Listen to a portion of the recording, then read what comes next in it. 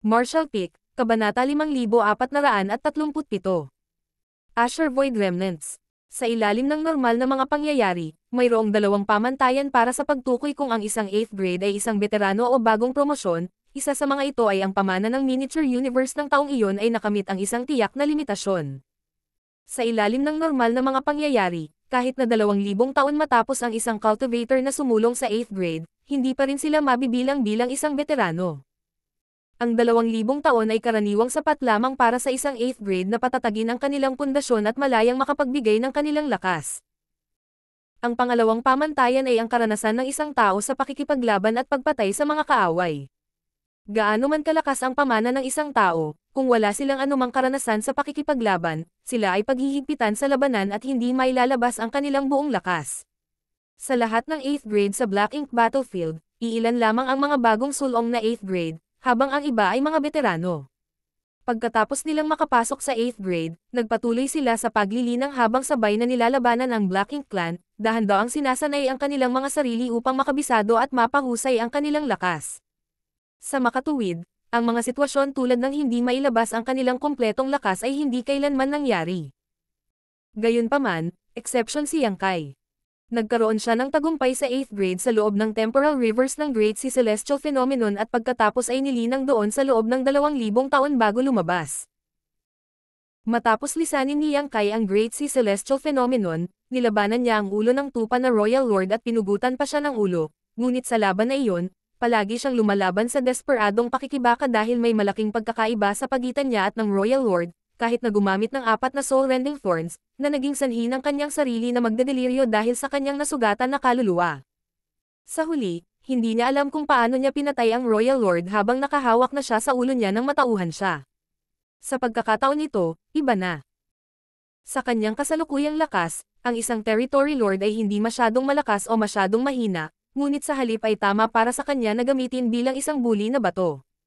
Matapos niyang patayin ang dalawang territory lords ng sunod-sunod, hindi nagmamadali siyang kay nawakasan ang buhay ng ikatlong territory lord. Sa halip, gusto niyang hiramin ang lakas ng territory lord na ito para maasa at maging pamilyar sa kanyang bagong nahanap na lakas. Ang maraming grand daw strengths na napino niya sa loob ng Great Sea, lalo na, ay hindi pamilyar sa kanya.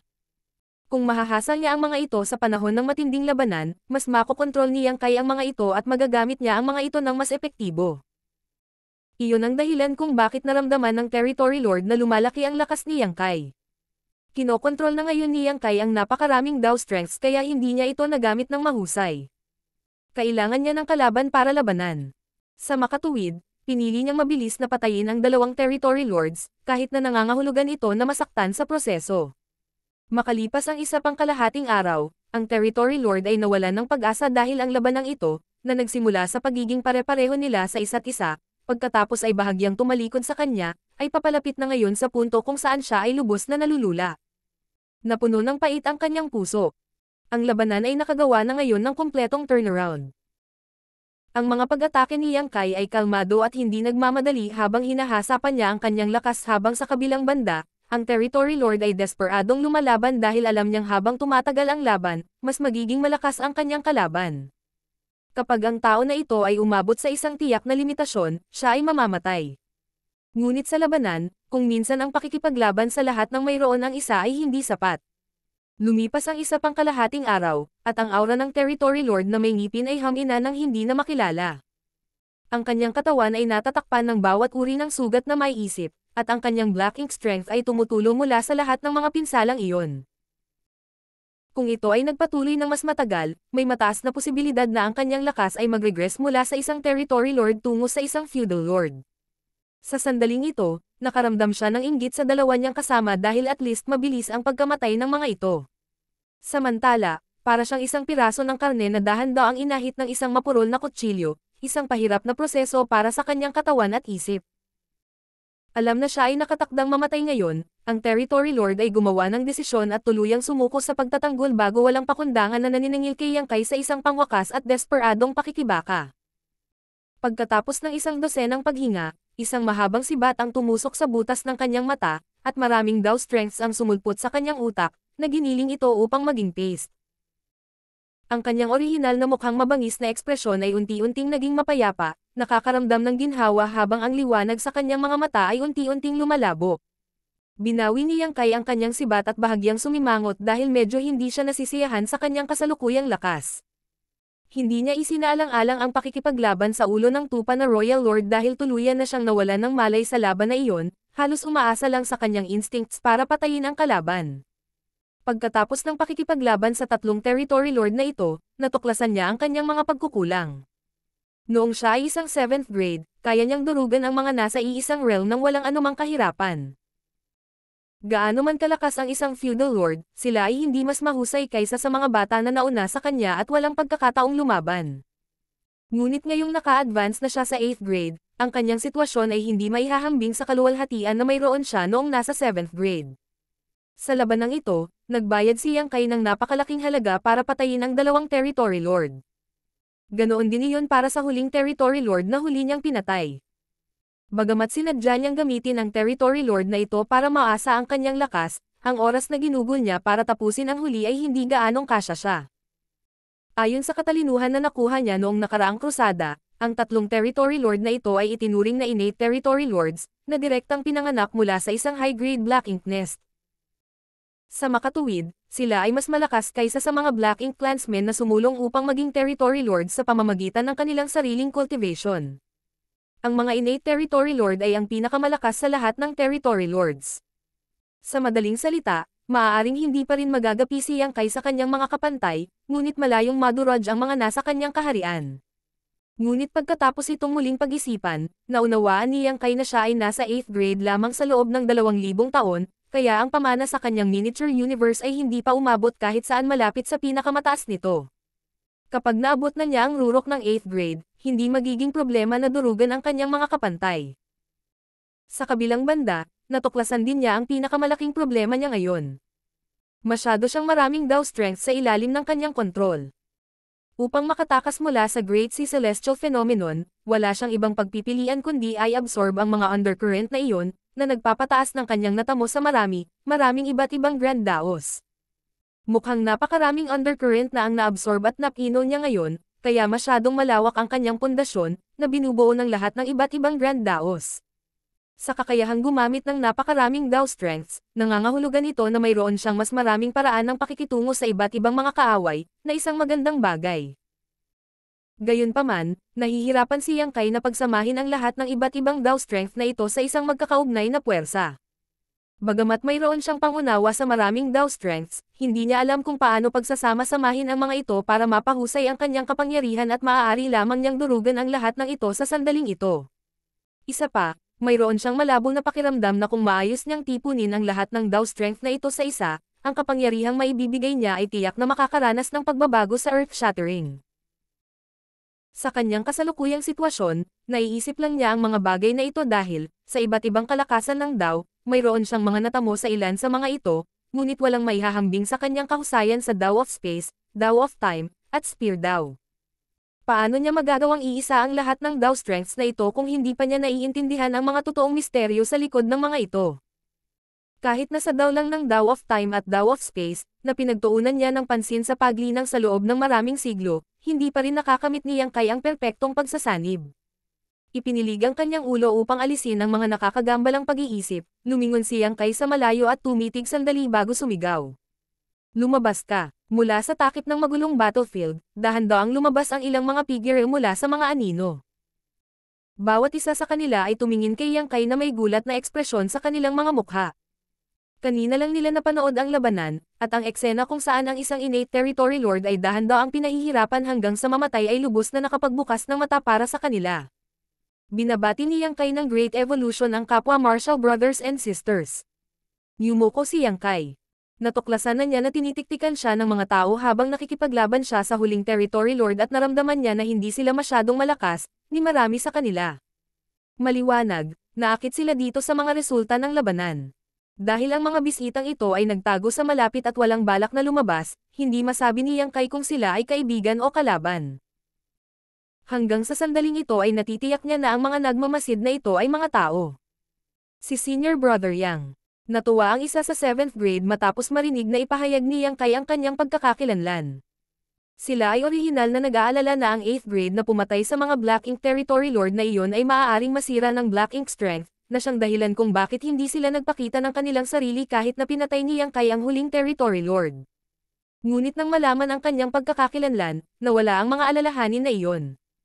Hindi ito matutulungan, dahil alam ng bawat kawal ng tao sa bawat Great Pass ang pangalan ni Yang Kai. Siya ang nagdala sa kanila ng purifying light, kaya kilalang kilala na hindi siya natatakot na salakayin ng Black Ink Strength. Lahat ng nasa ibaba ng 9th grade ay may posibilidad na mapinsala ng Black Ink Strength, ngunit si Yang Kai ay isang exception. Samantala, ang iba ay nagpahayag din ng mga masasayang ekspresyon habang nagmamadaling lumapit kay Yang Kai. Nang makita nila ang mukha ni Yang Kai, sa wakas ay matutukoy na nila ang kanyang pagkakakilanlan. Naisip din ni Yang Kai na mukhang pamilyar ang mga taong ito, at pagkatapos na tingnang mabuti, nag-aalangan niyang sinabi. Ikaw ang senior brother na laging nakabantay sa space array. Sa ilang beses na pagbisita sa Asher Void Pass, natural na nakilala ni Yang Kai ang 7th grade na nagbabantay sa hyperspace array ng Great Pass, at natitiyak niyang isa sa kanila ang taong nauna sa kanya. Ang 7th grade na iyon ay tila may iyak na sa tuwa at masasikal. Binabati ni Sun Mao si senior brother Yang. Pagkatapos, iniwas ni Yang Kai ang kanyang tingin sa iba, at ang kanyang mukha ay bumagsak. Kayo ba? Ang natitira sa Asher Void Army. Inayos ni Sun Mao ang kanyang sarili bago sumagot. May ilan pang mga brothers ang sisters, ngunit sila ay kasalukuyang nagtatago. Pumunta kami dito dahil naramdaman namin na may nagaganap na labanan at gusto naming mag-imbestiga. Ilan kayo dyan? Tanong ni Yang Kai. Sumagot si Sun Mao sa isang mahigpit na boses. Wala pang isang libo. Naramdamang bahagyang kumikibot ang kanyang mukha, naramdaman ni Yang Kai na parang pinupunit ang kanyang puso. Ang Asher Void Pass ay dapat na mayroong 30,000 human masters na nakalagay dito, halos kapareho ng Blue Sky Pass noon. Matapos ang pag-atake sa Royal City sa Asher Void Theater, walang alinlangang nagdusa sila ng ilang mga casualty, ngunit dapat ay mayroon pa ring higit sa 20,000 mga tropa dito noong ikalawang krusada. Wala pang isang libo sa orihinal na 20,000 ang nakaligtas, habang kahit ang lumang ninuno ay namatay sa labanan. Ito ay walang mas mababa kaysa sa trahedya. Senior Brother Yang, mayroon pa bang Black Ink Clansmen sa Inner Sanctum? Tanong ni Sun Mao. Umiling si Yang Kai. Hindi ako nagsagawa ng masusing pagsusuri, ngunit wala na dapat na natira. Dahil ang tatlong territory lords na nakatago dito ay napatay na, ang anumang natitirang Black Ink Clansmen ay lilito na ngayon, kahit na ito ay subukan lamang na tumakas. Nang marinig iyon, gamaan ang pakiramdam ni Sun Mao. Kung ganoon, maliligtas si Division Commander Wang at ang iba pa. Kumunat ang noo ni Yang Kai. Bakit mo nasabi iyan? Ipinaliwanag ni Sun Mao. Si Division Commander Wang at ilang fellow brothers and sisters ay nilusob ng Black Ink Strength. Dahil naubusan kami ng purifying Black Ink pills at walang access sa anumang purifying light, hindi nila naalis ang Black Ink Strength na iyon. Dati, pinamunuan ni Division Commander Hai ang ilang tropa dito, na naglalayong mabawi ang purifying Black Ink battleship. Sa kasamaang palad, walang anumang balita mula sa kanila mula nang umalis sila, kaya ipinapalagay namin na nagkagulo sila. Marami sa mga natitirang sundalong natipon dito ay nabahiran ng Black Ink Strength at pinipigilan ang Black Ink Strength sa loob ng kanilang katawan sa paglipas ng mga taon gamit ang iba't ibang paraan, ngunit paminsan-minsan, isa sa kanila ay hindi na makatagal. At kailangang magpakamatay. Ang labanan dalawandaang taon na ang nakakaraan ay hindi lamang nawasak ang Asher Void Pass, ngunit pinutol din ang mga linya ng supply ng humans. Kahit na ang purifying black ink pills at evil purging divine spears ay naubos na lahat sa ngayon. Bagamat may mga alchemist pa rin sa kanilang hanay, imposible para sa kanila na pinuhin ang mga spirit pills ng walang anumang spirit herbs o materyales. Si Division Commander Wang Xiong ay isang 8th grade, kaya kahit na siya ay invade ng Black Ink Strength, maaari pa rin siyang kumapit ng ilang sandali, ngunit kung masyadong mahaba ang lumipas, mahihirapan din siyang makayanan. Ngayon, ang tanging bagay na makapagliligtas sa kanila ay ang Purifying Black Ink Battleship na nasa Inner Sanctum. Maaaring masil pa rin ang Purifying Light sa loob ng battleship, kaya ang tanging paraan para makaligtas sila ay kunin ito mula sa Great Pass. Marshall Peak, Kabanata 5438 Huang Xiong Noong unang ipinakilala ang Purifying Black Ink Pill, gumawa siyang kay ng ilang eksperimento kasama ang Alchemy Great Grandmasters ng Blue Sky Pass. Ang Pildores na iyon ay maaaring magbigay daan sa isang tao na labanan ang Black Ink Strength at alisin ito sa kanilang miniature universe, ngunit kung ang isa ay hindi pa ganap na naging isang Black Ink Disciple. Kung mas malakas ang cultivator ay naiimpluensyahan ng Black Ink Strength, mas limitado ang epekto ng Purifying Black Ink Peel. Sa tuwing ang isang tao ay sinalakay ng Black Ink Strength, pipiliin nila ang pinakaangkop na paraan upang malutas ang krisis. Bago ang isang malaking labanan, ang mga sundalo ng tao ay umiinom ng purifying black ink pill, at kung sila ay hindi pinalad na mabahiran ng black ink strength pagkatapos mawala ang epekto ng pill ay gagamit sila ng purifying light. Matapos bumagsak ang Asher Void Pass, humigit kumulang isang libong sundalo ang naiwan mula sa orihinal na kampamento ng dalawampung libong tropa, at sa isang libong sundalong iyon, marami ang na-invade ng Black Ink Strength. Sa makatuwid, ang Purifying Black Ink Battleship dito ang tanging pag-asa nila. Iyon ang dahilan kung bakit pinangunahan ni Division Commander Haishing ang ilang mga sundalo dito upang subukang mabawi ang battleship, ngunit walang balita mula nang umalis sila, kaya inakala ni Sun Mao at ng iba pa na nakatagpo sila ng isang malakas na kaaway at sa huli ay namatay. Mula rito, inakala rin nila na may malalakas na kalaban na sumasakop pa rin sa Asher Void Pass, kaya naman nag-aalangan silang pumunta rito sa mga nakaraang taon. Kahapon, naramdaman nila ang epekto ng isang mahusay na labanan na nagmumula sa direksyon ng Asher Void Pass, kaya isinapanganib ni Sun Mao at ng iba pa ang kanilang buhay upang lumapit at mag-imbestiga, para lang personal na masaksihan si Yang Kai na pinatay ang huling Territory Lord. Saan nagtatago si Division Commander Wang at ang iba pa? Dalhin mo ako dali. Gustong hilingin ni Yang Kai na akayin siya roon at hayaan siyang tumulong na alisin ang Black Ink Strength sa kanilang mga katawan hanggang sa bigla niyang naalala na hindi na niya magagawa iyon.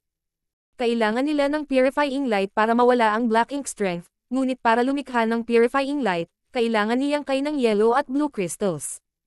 Gayunpaman, naubos niya ang lahat ng yellow at blue crystals na naiwan niya sa loob ng 4,000 taon niyang paglilinang sa loob ng Great Sea Celestial Phenomenon. Sa sandaling ito, hindi mapigilan ni Yang Kai na makaramdam ng pagkabigo. Kung alam niyang mangyayari ito, nailigtas sana niya ang ilan sa mga yellow at blue crystals, ngunit pagkatapos ay naisip niya kung kailan siya naglilinang sa Temporal River. Nararamdaman niya ang patuloy na pagtaas ng kanyang lakas, kaya paano siya magiging handa na huminto bago siya mapilitan. Baka nagkukultivate pa siya sa loob ng Temporal River kung marami siyang mapagkukunan. Ang ganitong pagkakataon ay napakabihirang dumating. Pakiimbitahan si Division Commander Wang at ang iba pa. Walisan ko ang Asher Void Pass para makita kung mayroon pang Black Ink Clansmen na nagtatago. Bili niyang kay sa kanila. Si Sun Mao at ang iba ay agad na natuwa at nagmamadaling umalis. Pagkaalis nila, sinimulang suriin muli niyang kay ang Asher Void Pass. Sa pagkakataong ito, gumawa siya ng Mason C ng sweep gamit ang kanyang Divine Sense para matiyak na wala ng Black Ink Clansmen sa loob. Pagkatapos ng oras ng Incenso Stick, natukoy niyang kay na ang tatlong Territory Lord na iyon nakakapatay lang niya ay ang tanging Black Ink Clansmen na nakatalaga dito. Ngunit hindi iyon kakaiba. Ang Great Pass na ito ay lubusang nawasak, kaya imposibleng bigyang pansin ng Black Ink Clan ang lugar na ito. Dagdag pa rito, tatlong territory lords ang naipost dito pangunahin upang pigilan ang sinumang tao na lumapit upang kunin ang bangkay ng old ancestor ng Asher Void Pass. Sa tatlong innate territory lords na nagtutulungan, kakayanin nila ang karamihan sa mga sitwasyon kapag walang old ancestor. Ang Division Commander High na binanggit ni Sun Mao ay maaaring nahulog sa kamay ng tatlong territory lord na iyon. Pagkatapos ng kanyang inspection, bumalik si Yang Kai sa gitnang plaza at muling yumuko sa Old Ancestor bago maingat na inimbak ang kanyang bangkay at ang ngayon ay walang sungay na Ox Monster sa kanyang miniature universe. Kaagad pagkatapos noon, dumating siya kung saan naroon ang Purifying Black Ink Battleship. Ang warship na ito ay nahati sa dalawa, ngunit sa kabutihang palad, ang lugar na nag-iimbak ng Purifying Light at Universe Array ay hindi masyadong napinsala. Kung hindi, hindi sisigat ang universe array kay Yang Kai noong ginamit niya ang universe transference law. Ang tanong ngayon ay kung ang purifying light sa loob ay tumagas na lahat. Sa teknikal na pagsasalita, ang purifying light ay isa lamang uri ng enerhiya. Noong idinisenyo ang orihinal na purifying black ink battleship, nakipagsanib puwersa si Yang Kai sa ilang array masters upang lumikha ng selyadong espasyo na magtitiyak na hindi tatagas ang purifying light. Para sa pagpasok at paglabas sa espasyong iyon, maaari silang gumamit ng space array. Ngayon na ang Purifying Black Ink Battleship ay napinsala ng husto, kung ang mga porma sayon sa loob ay maapektuhan din, kahit na ito ay isang maliit na depekto, ang purifying light na selyado sa loob ay tuluyang umaagos palabas at mawawala. Tahimik na nanalangin si Yang Kai para hindi mangyari iyon. Dahil wala na siyang yellow at blue crystals, hindi na siya makakagawa ng purifying light, kaya kung wala na ang purifying black ink battleship, mahuhulog si Division Commander Wang at ang iba pa sa isang mahirap na sitwasyon. Nakatayo sa kubyerta, tiningnan niyang kay ang space array at nakitang bahagyang nasira ito, kaya mabilis siyang nagayos nito. Wala pang kalahating araw, naayos ang space array, at tumayo siyang kay sa itaas nito bago sinubukang i-activate ito. Gamaan ang pakiramdam niya at mapalad na buo ang space array sa loob ng purifying black ink battleship. Kung hindi, hindi niya alam kung paano siya papasok sa loob. Ang liwanag ng hanay ay kumislap, at si Yang Kai ay agad na dinala sa loob ng pangunahing cabin ng Purifying Black Ink battleship. Matapos itong tingnang mabuti, nawala ang pag-asa sa loob niya. Malinaw na nasira ang loob ng Purifying Black Ink battleship, ibig sabihin ay nasira ang seal at wala ng Purifying Light. Bukod dito, mayroong isang bangkay ng Black Ink Clan dito. Noong inatake ng Black Ink Clan ang Asher Void Pass, malamang na natuklasan nila na ang Purifying Black Ink battleship ay iba ang hitsura sa ibang human warships, kaya natural na inimbestigahan nila ito. Ang patay na Black Ink Clansman na ito ay dapat ang pumasok sa loob upang suriin ang sitwasyon, na agad na nahulog sa espasyong ito na puno ng purifying light. Tulad ng langgam na nahulog sa isang kaldero ng kumukulong mantika, ang Black Ink Clan ay nagpakawala ng huling pag-atake bago mamatay at nasira ang arrays mula sa loob, na naging sanhi ng pagtagas ng purifying light. Nagngangalit ang kanyang mga ngipin, nag-teleport siyang kay pabalik sa labas.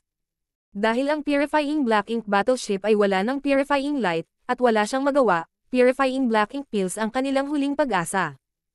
Ngayon, maaari lamang umasa siyang kay na ang mga nakaligtas ay hindi masyadong na-invade ng Black Ink Strength, kung hindi ay hindi magkakaroon ng malaking epekto sa kanila ang Purifying Black Ink Pills. Mula nang ipakilala ang Purifying Black Ink Pill, ang bawat Great Pass ay dinadalisay sila ng marami at ipapamahagi ang mga ito sa lahat ng mga sundalo bago ang isang labanan.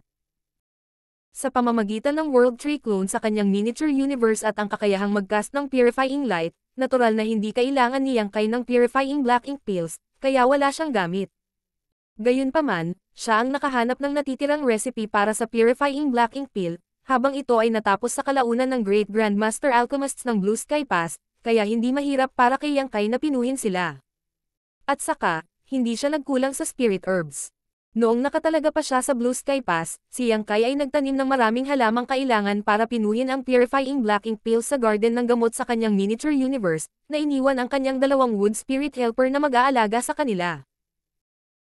Mahigit apat na libong taon na ang lumipas mula noon para kay Yang Kai, habang ang oras sa kanyang miniature universe ay damaloy ng maraming beses na mas mabilis kaysa doon, kaya ngayon ay may kasaganaan ng lahat ng uri ng spirit herbs, bulaklak, at prutas sa kanyang hardin ng gamot.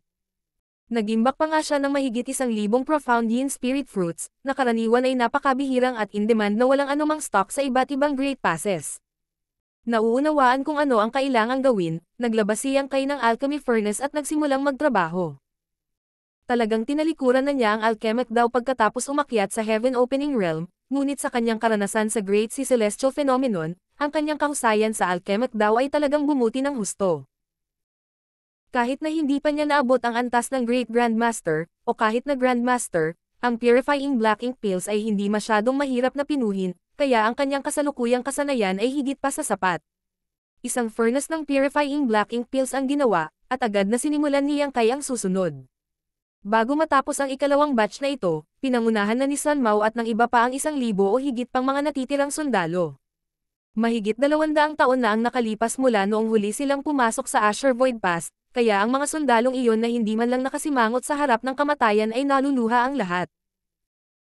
Ang pagtingin sa inner sanctum at ang malagim na battlefield ay nagpaalala sa kanila ng madugong labanan na kanilang nakipaglaban dito dalawandaang taon na ang nakararaan, na naging sanhi ng kanilang pakiramdam ng lubos na emosyonal. Ang nangunguna ay isang lalaking nasa katanghaliang gulang na may matipunong figure at matatag na lakad. Ang kanyang mukha ay patas at walang balbas habang ang kanyang ekspresyon ay mukhang mabangis na hindi lumalabas na galit. Gayunpaman, nakita ng lalaki na si Yang Kai ay nasa gitna ng pagpipino ng mga table tasks, kaya nanatili siya sa malayo upang hindi siya maistorbo.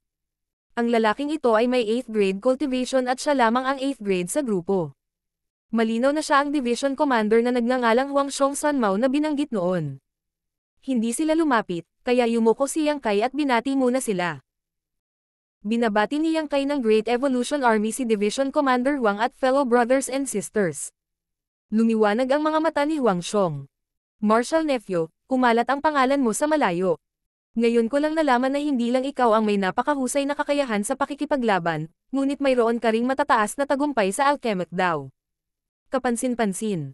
Hindi siya lumapit ngayon para gambolain si Yang Kai dahil natatakot siyang baka maabala niya ang huli, dahilan para mabaigo siya sa refinement ng batch ng mga pills na kasalukuyang ginagawa niya, ngunit nang makita niya si Yang Kai na mukhang tahimik habang nagpapatuloy.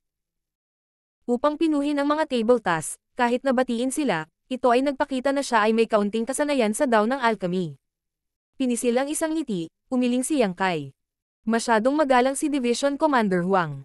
Kakatapos ko lang ng isang pagan ng purifying black ink pills. Mangyaring ipamahagi ang mga ito sa iba. Bagamat isang masayang bagay na muling makasama ang kanyang mga kasamahan, ang kasalukuyang sitwasyon ay naging mahirap para kay Yang Kai na talagang ngumiti. Inalis niya ang kanyang tingin sa isang libong sundalo na nauna sa kanya at nalaman niyang marami sa kanila ang nabahiran ng Black Ink Strength. Maging si Huang Xiong ay may mahinang Black Ink Strength na namamalagi sa ibabaw ng kanyang katawan, at habang nag-uusap sila, may bakas ng kadiliman na kumikislap sa kaibuturan ng kanyang mga mata. Iyon ay isang malinaw na senyales ng pagiging seryosong invaded ng Black Ink Strength. Kung pababayaan, sandali na lamang bago tuluyang masira si Huang Xiong. Siyempre, hindi siya papayag na mangyari ang ganoong bagay dahil tatapusin niya ang sarili niyang buhay o isakripisyo ang bahagi ng kanyang miniature universe bago noon. Lumapit si Huang Xiong at tinanggap ang purifying black ink pills na kagagaling lang bago ito basta-basta ihagis sa mga sundalong nasa likuran niya. Para sa kanya, naupo siya ng naka-cross-leg sa tabi ni Yang Kai at tahimik na pinanood siyang mag-refine ng mga table tasks. Ilang sandali pa, sa wakas ay nagsalita si Huang Xiong. Sa loob ng purifying black ink battleship, sa mabagal na pag-iling ng kanyang ulo, sumagot si Yang Kai. Nagpadala ang Black Ink Clan ng isang tao sa loob upang mag-imbestiga at nasira nila ang ceiling arrays. Ang purifying light ay tumagas lahat. Bagamat nahulaan na ni Huang Xiong ang kinalabasan na ito noong una niyang makita si Yang Kai, bumantong hininga pa rin siya pagkatapos makakuha ng kumpirmasyon. Hindi ko dapat hinayaan si Senior Brother Hai na lumapit. Nawalan sila ng buhay para sa wala. Wala nang maraming master sa mga nakaligtas dito, at ang tanging nabubuhay na 8th grade ay siya at si Division Commander High. Mahigit sampung taon na ang nakalipas, nang dalhin ni Division Commander High ang ilang mga sundalo sa Asher Void Pass para iligtas ang Purifying Black Ink battleship ngunit hindi na bumalik, naunawaan ni Huang Xiong na malamang na nahulog si Division Commander High sa kamay ng Black Ink Clan. Samantala, nanatiling tahimik si Yang Kai dahil hindi niya alam kung ano ang sasabihin. Biglang nagtanong si Wang Xiong. Marshal Nephew, nakatagpo ka ba ng ilang uri ng pagkakataon? Kailan ka sumulong sa 8th grade? Sa pagkakaalam niya, si Yang Kai ay isang 7th grade na nakalusot wala pang isang libong taon na ang nakararaan. Ngunit sa pagtingin sa kanya ngayon, hindi lamang nakapasok si Yang Kai sa 8th grade, nagawa pa niyang pumatay ng tatlong innate territory lord sa itaas ng Asher Void Pass ng mag-isa. Tanging ang pinakamalakas, pinaka-veterano na 8th grade ang maaaring magkaroon ng ganoong gawain. Bagamat tila si Yang Kai ay dumanas ng ilang malubhang pinsala sa proseso, tila hindi ito nakaapekto sa kanya dahil casual na nagpipino siya ng mga table tas dito, na labis na ikinagulat ni Huang Xiong. Marshall Pick, Kabanata 5439 Dalawa. Pagkatapos magtanong, napagtanto ni Huang Xiong na ang kanyang tanong ay medyo bastos at mapanghimasok, kaya idinagdag niya. Kung nahihirapan kang sabihin sa akin, maaari mong tanggapin na parang hindi ako nagtanong. Dahil ang bagay na ito ay may kaugnayan sa mga personal na lihim ng isang cultivator, hindi nararapat na usisin ito. Umiling si Yang Kai, sumagot. Walang nakakaabala tungkol dito. Talagang nagawa kong makapasok sa 8th grade dahil nakilala ko ang isang pagkakataon. Pagkatapos ay huminto siya saglit bago nagpatuloy. Division Commander Huang, gaano nakatagal mula noong labanan sa Primordial Heaven Source Grand Restriction? Tiningnan siya ni Huang Xiong ng kakaiba.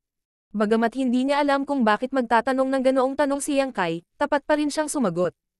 512 taon na ang nakalipas. 512 years. Tumaas ang isang kilay ni Yang Kai. Ang aktwal na oras ay medyo naiiba sa kanyang mga pagtatansya, ngunit ang pagkakaiba ay hindi masyadong malaki. Bumalik sa Great Sea Celestial Phenomenon, ang pinakamahirap tansyahin ay kung gaano katagal ang lumipas sa labas ng mundo dahil gumugol siya ng mga apat na libong taon sa loob at labas ng maraming temporal river na lahat ay may iba't ibang rasyos para sa daloy ng panahon. Gayunpaman, malinaw niyang maisasalaysay ang bahagi ng panahong iyon. Siya ay gumugol ng humigit kumulang isandaang taon sa paghahanap para sa temporal rivers upang linangin, at pagkatapos magpas siya na umalis, ginamit niya ang halos dalawandaang taon upang makatakas mula sa Great Sea Celestial Phenomenon. Sa pag-iisip na iyon, at sa impormasyon mula kay Huang Xiong, tila ang oras na ginugol niya sa paglilinang sa loob ng temporal rivers ay halos dalawandaang taon din. Kahit na dalawandaang taon na lang ang lumipas sa labas ng mundo, talagang gumugol si Yang Kai ng apat na libong taon sa paglilinang, na nangangahulugang ang average na rate ng daloy ng oras sa loob ng temporal rivers ay 20 beses kaysa sa labas ng mundo, na talagang mas mataas kaysa sa inaasahan niya. Matapos ay compose ang sarili, gumamit si Yang Kai ng pill condensing technique para kolektahin ang furnace ng spirit pills bago ibigay ang mga ito kay Wang Xiong. Sa pagkakataong ito, kumain ng isa si Wang Xiong bago ipinasa ang natitira sa mga sundalong nasa likuran niya. Sa bahagyang komplikadong ekspresyon, ipinaliwanag ni Yang Kai. Division Commander Huang, habang 512 taon na ang lumipas sa labas ng mundo, aktwal na naglilinang ako sa isang partikular na lugar sa loob ng mahigit 4,000 taon. Nagulat si Huang Xiong. 4,000 taon. Paano yan? Kasunod nito, bigla siyang may naisip at nagtanong. Isang temporal river. Malinaw na nakarinig siya ng mga alingaw tungkol sa temporal rivers noong nakaraan. Sa makatuwid, kung mayroong anumang lugar sa universo na ito na maaaring magpapahintulot kay Yang Kai na magkaroon ng ganoong kakaibang pagtatagpo, iyon lamang ang posibilidad. Ang bulong-bulungan ay sinabi na ang oras ay dumaloy ng mas mabilis sa loob ng temporal rivers kumpara sa labas ng mundo, na nagpapahintulot sa isa na magtanim sa loob ng sampu o kahit isandaang taon habang isang taon lamang ang lumipas sa natitirang bahagi ng universo. Maraming masters ang nakarinig ng mga alingaw na ito, ngunit ang napakaraming karamihan ay hindi pa nakakita ng temporal river para sa kanilang sarili, lalo na ang ginamit. Kung totoo iyon, hindi nakakagulat na nakapasok si Yang Kai sa 8th grade ng napakabilis. Ang kakayahan ni Yang Kai ay malinaw na katanji tangi din, nakikita kung gaano kataas ang kanyang lakas ay tumaas sa loob lamang ng 4,000 taon. Tumango si Yang Kai. Isa itong temporal river. Sa labas ng primordial heaven source restriction, ako ay tinarget ng isang royal lord. Lahat ng Old Ancestors at 8th Grade Division Commander ay may kani-kanilang mga kaaway na kakaharapin, kaya't walang ibang opsyon, subukan ko lang na tumakas. Sa una, ang plano ko ay dumaan sa Late Ancient Era battlefield at tumungo sa No Return Pass para humingi ng tulong sa Dragon at Phoenix clans para harapin ang Royal Lord na iyon, ngunit naligaw ang mga plano ko at naligaw ako sa daan.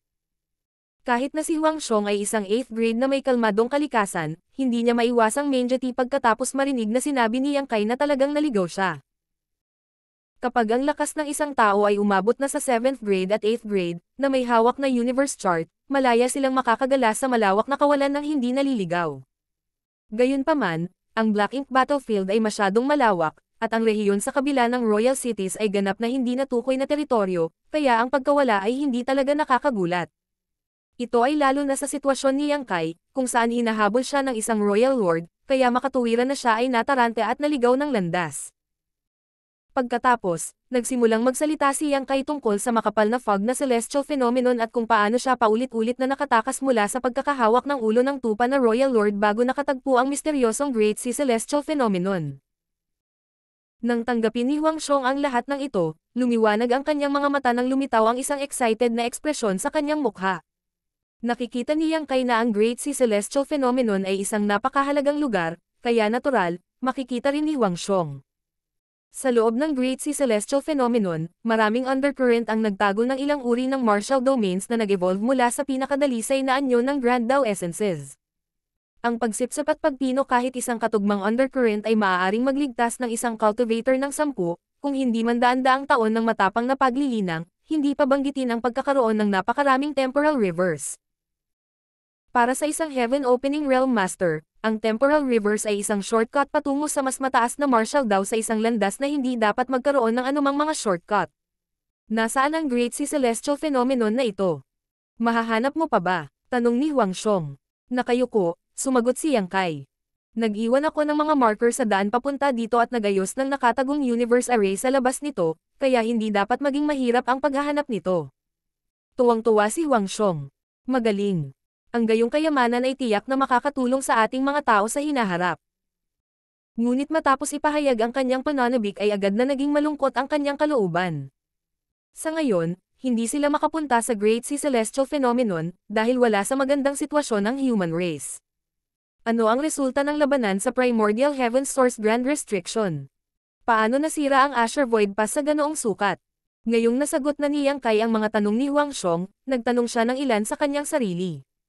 Noon, si Yang Kai ay pinuntirya ng ulo ng tupa na Royal Lord di nagtagal pagkatapos magsimula ang labanan at napilitang tumakas mula sa battlefield, kaya wala siyang ideya kung ano talaga ang nangyari pagkatapos.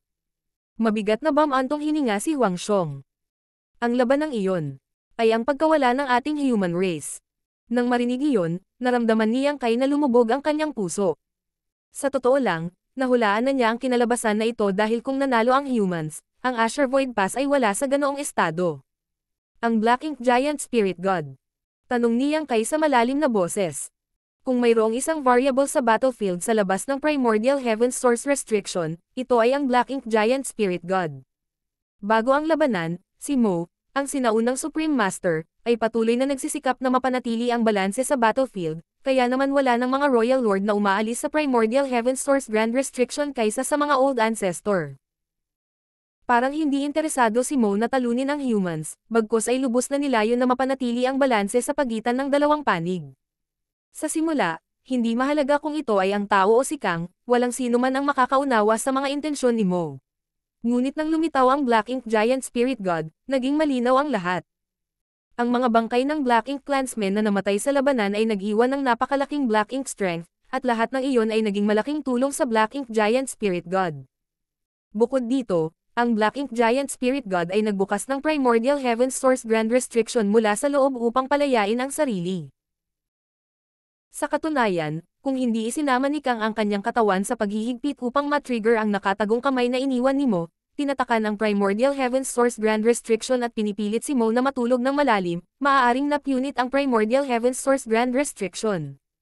Buksan at doon at palayain na sana si Mo. Kung nangyari ang ganitong senaryo, hindi sana natalo ang human race sa labanan, nalipol na sila. Sa kabutihang palad, si Mo ay nawalan ng malay at ang Primordial Heaven Source Grand Restriction ay naisalid sa huli. Ang bilang ng mga Royal Lords sa field ay talagang mas mababa kaysa sa bilang ng 9th grade, para sa Territory Lords, ang 8th grade ay maaaring makitungo sa kanila, at para sa mga Feudal Lords at mas mababa, ang humans ang talagang may bentahe. Gayunpaman, ang mga tao ay natalo pa rin sa labanang iyon, kaya isa lamang ang posibleng dahilan, na ang Black Ink Giant Spirit God ay napakalakas. Nang makatakas si Yang Kai, napansin niya ang isang eksena kung saan nagtulungan ang ilang old ancestors upang sugpuin ang Black Ink Giant Spirit God. Kung hindi, ang ulo ng tupa na Royal Lord ay hindi magkakaroon ng oras upang harapin siya. Isang mabilis na sulyap lang ang nakuha niya, ngunit ang nakita niya ay ang mga old ancestor na iyon ay nakaunat na sa kanilang limitasyon sa pakikitungo lamang sa Black Ink Spirit God na ang ibabang bahagi ay pinutol ng Primordial Heaven Source Grand Restriction nang bigla itong magsara. Gaano kalakas ang isang kompletong Black Ink Giant Spirit God? Matiim na tumango si Huang Xiong. Ito ay ang Black Ink Giant Spirit Gods. Kung mayroon lamang isa, kahit na ang mga tao ay magkakaroon pa rin ng mahirap na labanan, magkakaroon pa rin sana tayo ng pagkakataong magtagumpay. Gayunpaman, isa pa sa mga halimaw ang lumitaw. Ang mga mag-aaral ni Yang Kai ay nagkontrata. Mayroon bang dalawang Black Ink Giant Spirit Gods? Saan nang galing? Bago ang Primordial Heaven Source Grand Restriction ay seliado, mayroon lamang isang Black Ink Giant Spirit God. Kung tutusin, kalahati pa lang ng isa simula nang gupitin siya ng Grand Restriction sa dalawa, kaya saan nang galing ang pangalawa? Hindi kaya muling binuksan ang Grand Restriction. Kudlit, taliwas sa pag-aalala ni Yang Kai, dahan-daang ipinaliwanag ni Huang Xiong. Hindi ko rin alam kung saan nanggaling ang pangalawang Black Ink Giant Spirit God, bigla na lang itong lumitaw mula sa likod ng army at agad na nasira ang isang Great Pass, na hudyat ng ating pagkatalo. Mula sa likod ng army. Agad na napatulala si Yang Kai. Bakit may Black Ink Giant Spirit God na lumabas mula sa likod ng army? Kudlit. Bagamat malinaw na nilikha ni Mo ang Black Ink Giant Spirit God sa imahe ng tunay na Giant Spirit God clan, ang Black Ink Giant Spirit God ay hindi gaanong naiiba sa mga tuntunin ng lakas at kakayahan. Kung ang naturang behemoth ay maglulunsad ng isang ambush mula sa likod ng army, magiging imposible para sa mga tao na mag-react sa oras. Biglang may naisip si Yang Kai at nagtanong. Ang pangalawang Black Ink Giant Spirit God ba ay lumitaw mula sa direksyon ng late ancient era battlefield? Tumango si Huang Xiong. Talaga. Huminga si Yang Kai. Marahil alam ko ang pinagmulan ng pangalawang Black Ink Giant Spirit God. Natigilan si Huang Xiong. Kayo ba? Hindi pa rin niya maisip kung paano lumitaw ang pangalawang Black Ink Giant Spirit God. Maging ang Asher Void Pass Old Ancestor ay walang maisip na anuman pagkatapos ng daan-daang taon ng pagninilay-nilay sa isyo, kaya paano malalaman niyang kay ang katotohanan pagkatapos lamang nitong marinig ang tungkol dito. Mataimtim na sinabi ni Yang Kai. Kung hindi ako nagkakamali, ito ay nagmula sa late ancient era battlefield. Sa ikalawang krusada, nakatagpo namin ni Old Ancestor Xiao Xiao ang isang tunay na giant spirit god. Sa landas na tinahak ng Great Evolution Pass para marating ang Primordial Heaven's Source Grand Restriction, nakita ni Yang Kai ang isang giant spirit god na nagrampa sa late ancient era battlefield, na may hawak na malaking bone club, na tila nakikipaglaban sa isang kayig ng hindi nakikitang mga kaaway. Sa oras na iyon, ang Old Ancestor Xiao Xiao ay nagtungo sa kanya upang mag-imbestiga, at sila ay halos aksidenteng nabasag ng giant spirit god na iyon. Mula sa kanilang mga obserbasyon noong panahong iyon, ang dalawa sa kanila ay nag-isip na ang giant spirit god ay namatay na sa labanan. Gayunpaman, tila ang giant spirit god clan, sa kabila ng pagiging bata at inosente, ay nagtataglay ng tunay na hindi matitinag na wills na kahit sa kamatayan ay nagawang panatilihin ang instinct na lumaban. Ang giant spirit god na iyon ay malamang na nagmamadali sa battlefield na iyon sa loob ng milyon-milyong taon kahit na matagal nang napahamak. Labis na naantig si Yang Kai sa oras na iyon, sa paniniwalang ang kinahuhumalingan ng giant spirit god ay ang pagsisikap na iligtas ang mga kaibigan at kaalyado nito sa halip na patayin ang kaaway, dahil sa lakas ng isang giant spirit god, habang maaaring may ilang mga kaaway ay hindi nito magagawa. Pagkatalo, walang kaaway na hindi nito matatakasan. Ang katotohanang namatay ito sa labanan ay nangangahulugang pinili nitong manatili at magpatuloy sa pakikipaglaban. Gayunpaman, ngayon tila ang kanyang mga haka-haka noon ay hindi tama at na ang Giant Spirit God ay hindi sa lahat ng kanyang hinala.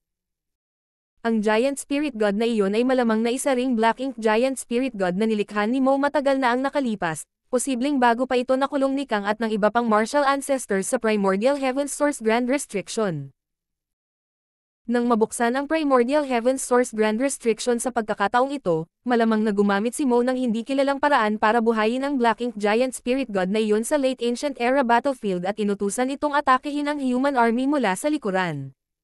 Bagamat hindi niya personal na nasaksihan ang labanang iyon, naiisip pa rin niyang kay kung gaano kadesperado at kawalang kakayahan ang naramdaman ng mga tao nang ang ikalawang Black Ink Giant Spirit God na iyon ay tumuntong sa battlefield. Sa orihinal, ang Old Ancestors ay may kaunting kalamangan sa Royal Lords, ngunit ang unang Black Ink Giant Spirit God ay samikop ng hindi bababa sa isang dosenang 9th grade, na binaligtad ang kalamangan na iyon sa ulo nito. Nang lumitaw ang pangalawang Black Ink Giant Spirit God, parang ang Black Ink clan ay biglang tumanggap ng isang dosenang pang Royal Lords bilang mga reinforcement, na walang sino man ang makakapigil dito. Nang magsimulang magrampa ang pangalawang Black Ink Giant Spirit God na iyon, ano ang maaaring gawin para pigilan ito? Sa ganoong kalawak ngunit halos pantay na labanan, kahit na ang pinakamaliit na tagumpay ay maaaring magresulta sa isang chain reaction na ganap na tumama sa mga antas ng digmaan, lalo na ang panghihimasok ng isang nilalang na kasing lakas ng isang Black Ink Giant Spirit God. Natigilan si Huang Xiong nang marinig niya ito at hindi napigil ang magtanong. Sinasabi mo ba na ang pangalawang Black Ink Giant Spirit God ang nakita mo noon? Tumango si Yang Kai. Bukod dyan, wala nang ibang posibilidad hindi nakaimik si Huang Xiong habang napuno ng kalungkutan ang kanyang puso. Marshall Peak, Kabanata 5440 po. Ang daang nasa unahan. Pagkaraan ng mahabang sandali, sa wakas ay nagsalita si Huang Xiong. Ang dalawang Black Ink Giant Spirit Gods ay sumalakay sa amin mula sa harap at likod, sinira ang ilang Great Passes sa pagbubukas ng mga sandali ng labanan. Walang pagpipilian ang Old Ancestors kundi utusan kaming umatras mula sa Primordial Heaven Source Grand Restriction upang mapanatili ang aming lakas. Ang Black Ink Clan ay natural na hindi lang kami pinakawalan, kaya hinabol kami ng kanilang army sa pangunguna ng Royal Lords. Sa madugong labanan sa kawalan, ang dalawang karera ay parehong nagtamo ng malubhang casualty. Samantala, ang dalawang nagngangalit na Black Ink Giant Spirit Gods ay patuloy na nagdudulot ng kalituhan. Sa ganoong sitwasyon, kahit na ang mga Old Ancestor ay hindi nagawang baligtarin ang bumababang kalakaran. Habang sila ay umaatres, sinira ng dalawang Black Ink Giant Spirit Gods ang ilan pang Great Pass, at kahit na karamihan sa mga tao sa loob ng Great Passes na iyon ay nakatakas sa takdang panahon, mayroon pa ring malaking bilang ng mga nasawi. Ang sitwasyon ay naging pinakamasama, at kahit na ang Human Army at ang iba pa mula sa lahat ng Great Passes ay nagawang muling ayusin ang kanilang mga sarili, sila ay nahaharap pa rin sa paglipol. Sa makatuwid, nagkaroon ng mabilis na talakayan ang Old Ancestors at nagpasya na ang natitirang Great Passes ay hati-hati sa ilang grupo at hiwalay na Otres ng grupong kinabibilangan ng Asher Void Pass ay partikular na hindi pinalad dahil sila ay tinarget ng Black Ink Giant Spirit God na nagmula sa late ancient era battlefield. Bukod sa Black Ink Giant Spirit God, mayroong halos 20 Royal Lords at malaking bilang ng Territory Lords at Feudal Lords sa loob ng tumutugis na Black Ink Clan Army.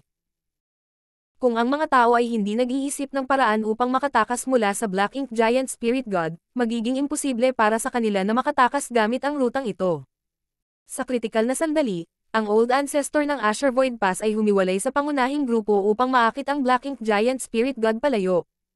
Natural, ang Black Ink Clan ay hindi susuko sa paghabol sa mga tao ng ganoon kadali, kaya pinalibutan ng Black Ink Clan Army ang mga tao mula sa iba't ibang panig sa ilalim ng pamumuno ng Black Ink Giant Spirit God at Royal Lords. Ang pakikibaka na iyon ay tumagal ng halos 300 taon. Dalawandaang taon lamang ang nakalipas nang ang mga casualty ng Asher Void Pass ay umabot sa isang breaking point kung saan napakaraming 8th grade ang bumagsak, na naging imposible para sa kanila na tumakas pa. Dahil dito, gumawa sila ng huling paninindigan laban sa Black Ink Clan. Ang resulta ay malinaw at hindi nangangailangan ng iba pang paliwanag. Nawasak ang Asher Void Pass, at hindi napigilan ng Old Ancestor ang magkasanib na pag-atake ng ilang Royal Lords at sa huli ay namatay sa labanan. Ang malalaking butas sa dingding sa paligid ng Great Pass ay ginawa ng malaking bone club ng Black Ink Giant Spirit God. Mula sa sandaling iyon, ang Asher Void Pass, na nagbabantay sa Black Ink battlefield sa loob ng milyon-milyong taon, ay nakatagpo ng kabuang pagkatalo, na nagtapos sa napakagandang kasaysayan nito. Mahigit 20,000 sundalo ang nagbantay sa lugar na ito, ngunit wala pang isang libo ang nananatili pagkatapos ng halos 300 taong labanan. Ang Asher Void Pass ay masasabing halos nabura na. Sa wala pang isang libong nalalabing sundalo, marami ang nabahira ng Black Ink Strength at patuloy na nanganganib na mahulog. Bukod dito, dahil naubos na ang kanilang mga supply, karamihan sa mga tiwaling sundalong iyon ay kailangang isakripisyo ang kanilang mga sarili para lang hindi sila maging mga Black Ink disciple at magdulot ng higit pang gulo sa kanilang mga kapwa na kaligtas. Ang sitwasyong ito ay katulad lang ni Meng Chi, ang 7th grade na siyang kay na nakilala noong una siyang dumating sa Black Ink battlefield. Si Meng Chi ang kauna-unahang Heaven Opening Realm Master na nakilala ni Yang Kai na may lakas ng loob na ibigay ang kanyang buhay para sa human race. Noon, labis na naantig si Yang Kai sa walang pag-iimbot na sakripisyong ito. Sa tatlong libong mundo, ang 7th grade cultivator ay mga tunay na masters na matatagpuan lamang sa cave heavens at paradises, na ginagawa silang lahat ngunit hindi magagapi at hindi mahipo. Gayunpaman, sa Black Ink Battlefield, kusang loob na tinapos ng naturang master ang kanyang buhay nang walang anumang pag-aalinlangan upang maprotektahan ang sikreto ng Void Corridor na humahantong sa Black Territory. Masasabing ang human race ay nakapagtiis hanggang ngayon dahil may milyon-milyong tao tulad ni Meng Chi na nag-alay ng kanilang dugo, pawis, at maging buhay para protektahan ang tatlong libong mundo. Ang ganitong kagitingan ay dapat igalang ng lahat. Ang mga natitirang sundalo ng Asher Void Pass ay hindi umalis sa lugar na ito ngunit sa halip ay nakakita ng patay na universo at tahimik na nagtago sa loob. Una sa lahat, alam nilang hindi sila makakaligtas kung aalis sila, at dalawa, ang Asher Void Pass ay kinuha sa kanilang mga kamay, kaya gusto pa rin nilang bawiin ito, kahit na ang kanilang mga pagkakataon ay napakaliit. Ang kanilang paghihintay ay tumagal ng halos dalawandaang taon at sa wakas ay natapos nang dumating siyang kay kahapon. Habang naghihintay sila ng pagkakataon na kunin muli ang nawala sa kanila, naghanap din sila ng paraan upang malutas ang kanilang mga problema sa pagiging tiwali ng Black Ink Strength at sinubukang iligtas ang isang derelict purifying Black Ink battleship. Gayunpaman, pagkatapos ng pagkawala ng 8th grade na nagngangalang Haishing na nanguna sa pagsisikap na iyon, ang iba ay hindi nang ahas na kumilos ng padalos-dalos. Kung dumating siyang kay makalipas ang kalahating taon, ang mga natitirang sundalo ng Asher Void Pass ay naglunsad sana ng huling pag-atake sa ilalim ng pamumuno ni Wang Xiong. Kahit na hindi nila maibalik ang Asher Void Pass, mas gugustuhin nilang mamatay kasama ang Great Pass kaysa magtagal sa kahihiyan. Habang nag-uusap sila, biglang naglabas ng makapal na ulap ng Black Ink Strength ang katawan ni Wang Xiong. Ito ay tanda ng Purifying Black Ink Pill na nagkakabisa. Mabisa ang Purifying Black Ink Pills hanggat ang isang cultivator ay hindi pa ganap na naging Black Ink Disciple. Kung mas mababa ang Black Ink Strength sa kanila, mas magiging maayos ang kanilang sitwasyon, at mas epektibo ang pill. Sa makatuwid, ang Purifying Black Ink Pills ay kadalasang iniinom ng prophylactically. Makalipas ang ilang sandali, naalis na ni Huang Xiong ang lahat ng Black Ink Strength sa kanyang katawan at nagpakawala ng mahabang buntong hininga. Mahirap para sa kanya na patuloy na sugpuin ang katiwalian ng Black Ink Strength, ngunit ngayon, ganap na nalutas ang problemang iyon. Tumingin siyang kay kay Huang Xiong at nagtanong. Division Commander Huang, naisakripisyo mo ba dati ang bahagi ng iyong miniature universe? Hindi ito pinansin ni Yang Kai noong una, ngunit napansin niya ngayon na medyo hindi matatag ang aura ni Huang Xiong pakiramdam niya ay babalik ang kanyang grado anumang oras. Iyon ay isang malinaw na senyales na ang miniature universe ng huli ay nasira. Sa Black Ink Battlefield, ang ganitong sitwasyon ay naganap lamang kapag ang isa ay napilitang isakripisyo ang malaking bahagi ng kanilang miniature universe. Tumango si Huang Xiong. Ito na ang pangalawang beses na sinalakay ako ng Black Ink Strength. Nagawa kong isakripisyo ang bahagi ng aking miniature universe upang iligtas ang aking sarili sa unang pagkakataon, ngunit sa pagkakataong ito. Wala akong opsyon na gawin iyon muli. Ang kanyang aura ay nag-iiba-iba na, kaya kung isasakripisyo niyang muli ang bahagi ng kanyang miniature universe, tiyak na siya ay babalik sa 7th grade. Sa ibang pagkakataon, hindi magdadalawang isip si Huang Xiong na isakripisyo ang bahagi ng kanyang miniature universe para alisin ang katiwalian ng Black Ink Strength mula sa kanyang sarili, ngunit siya ang huling 8th grade sa mga natitirang sundalo ng Asher Void Pass, kaya ang kanyang ang lakas ay kailangang-kailangan para sa kanilang kaligtasan. Kung walang makapangyarihang master na mamumuno sa kanila, ang ragtag band na ito ng kapalaran ng mga sundalo ay selyuhan. Hindi lang si Huang Xiong ang nag-aalala tungkol sa ganoong posibilidad dahil ang lahat sa isang libo o higit pang mga labi na nabahiran ng Black Ink Strength ay may katulad na iniisip. Wala sa kanila ang ayaw na isakripisyo ang kanilang miniature universe, naramdaman lang nila na mas mabuting panatilihin ang lakas hanggat maaari upang maglunsad ng isang huling pag-atake sa Black Ink Clan. Samantala, alam niyang kay ang mga alalahanin ni Huang Xiong nang hindi niya kailangan na magpaliwanag ng anuman. Sa bahagyang tango, kinuha niyang kay ang isang profound yin spirit fruit at ibinigay ito kay Huang Xiong. Division Commander Huang, pinuhin mo ito. Tatanggi na sana si Huang Xiong nang makita niyang kumuha si Yang Kai ng ilang dosina pang Profound Yin Spirit Fruits at tinawag si Sun Mao. Senior Brother Sun, pakibahagi ang mga prutas na ito sa mga may nasirang miniature universe. Sumang-ayon si Sun Mao at masayang lumapit upang tanggapin ang mga bunga. Nang mapansin ang sitwasyon, hindi na tumanggi si Huang Xiong at agad na kinuha ang isa para sa kanyang sarili. Sa kabila ng hindi na magkakaroon ng anumang problema sa Black Ink Strength, ang dami ng lakas na maaari niyang ibigay ngayon ay pinakamainam na katumbas ng isang bagong na-promote na 8th grade. Kung kaya niyang ayusin ang kanyang miniature universe, ang kanyang lakas ay tataas ng malaki.